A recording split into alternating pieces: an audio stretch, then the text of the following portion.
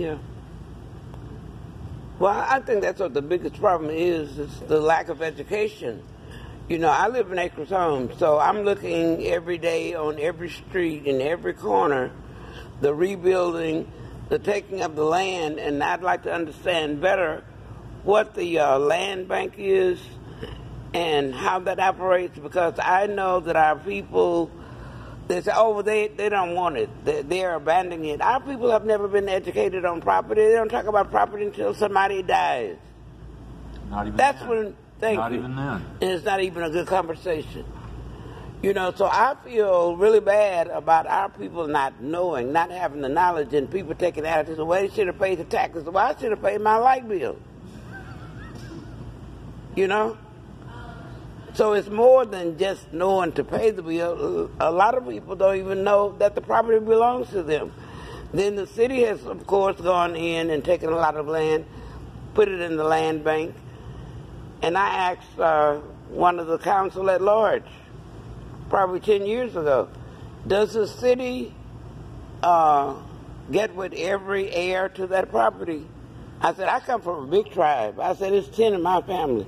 And the guy says, oh no, we only contact one person. So this is where I stand. I want to go back and try to find out who these people are, how they're related. And uh, before I go any further, I want to mention that you get all of these notices in the mail. We want to buy your house. Is there a law against this? Can we have a law put into place for this? That doesn't make any sense. Don't be asking me about buying my house, you know, and you get all of that. I got a picture of a postcard with my neighbor. Is this your house? And it, it was terrible. It was. I hadn't even let her know that I, that that came to my address with a picture of her house on it. You know, everything in Acres Home is old, old people.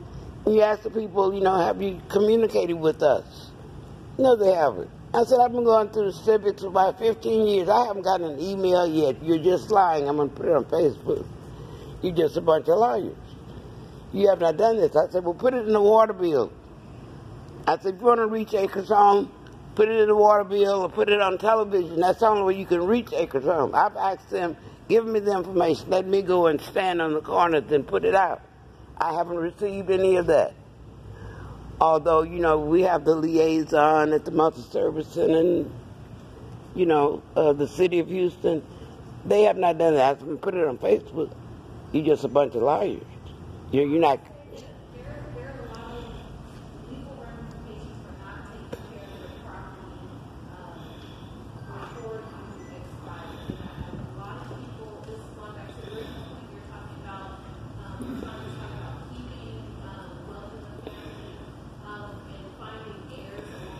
That's right.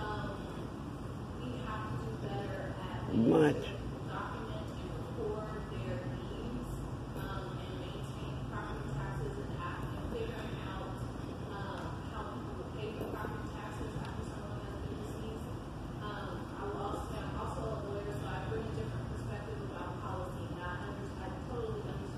Mm-hmm.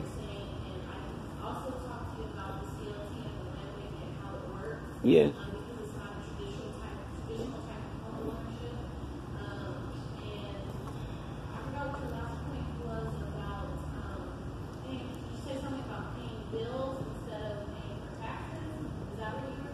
No, no, not. I was just comparing that. You know, I, you know, you have to pay bills, so sometimes you're late on, you know, whatever you make arrangements. But, y'all said But our people don't even know notice in the this. Water bill. Oh yeah, yeah, yeah. Oh yeah. I asked him about that uh, also at the last meeting we had at the center. Can't you put it in the water bill? Everybody gets a water bill. Oh, we tried that. This woman is just lying. I don't care what you say.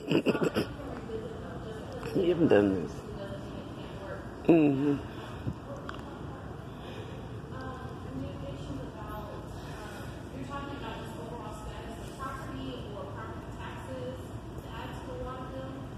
No, just to send the information to the community to know that we're having a meeting like this or that. You know, just to get the information out there. The people don't know anything. Oh, I thought she was talking about if you if if we passed a law that said they can't pester you to death about Oh, buying yeah, the yeah. property, put notice of that in the water bill. Because my God, you cut Oh, my yeah. mail in half. Really? Thanks. And again, I, I'm, my name is Rashard K. So my day job is I work for the City of Houston in the Department of Neighborhood. But I, again, I'm born and raised in the South Park area, and Sunnyside is getting a ton of those letters in too as far as buying property, and that's definitely an issue that we want to address. But as far as of Neighborhoods, we address those issues and we deal with those issues day in day.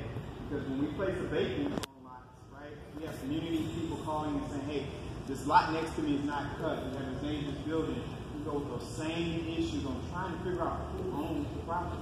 So it's not only from the standpoint of home ownership, but it's a standpoint of cleaning up our communities and making sure that we're able to truly have a sound community. Now, one of the things that the Department of Neighborhood is doing underneath the direction of Takasha Francis, who is the director, is we're doing um, will clinics. And what these will clinics are doing is educating us and educating, especially our seniors, on really what to do as you're starting to really define what your assets are, um, what uh, you know, whose name is the home in, who you plan on leaving the name uh, in if you were to pass, and really how does how does it look if God says we want to send you home tomorrow? Uh, you know, what all the way down to really, you know, what insurance, what life insurance company do you have that you're using, right? And who do we get in contact with? So the Department of Neighborhood is doing that. If you contact with the Citizens Assistance Office or the City of Houston Department of Neighborhood, it can help you with that. Again, it's a real clinic, and we've been traveling around the city.